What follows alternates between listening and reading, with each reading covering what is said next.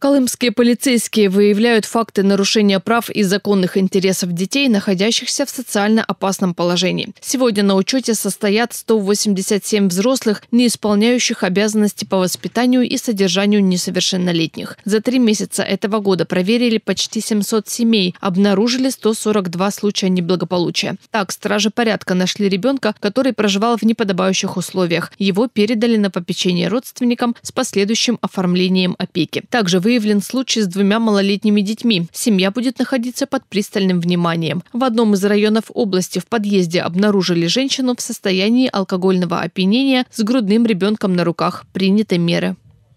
Сотрудниками полиции установлено, что законный представитель несовершеннолетних на протяжении нескольких дней отсутствует по месту жительства, злоупотребляет спиртными напитками, воспитание несовершеннолетних детей не занимается. Продукты питания имелись в минимальном количестве, в квартире присутствовал беспорядок, дети школу не посещали.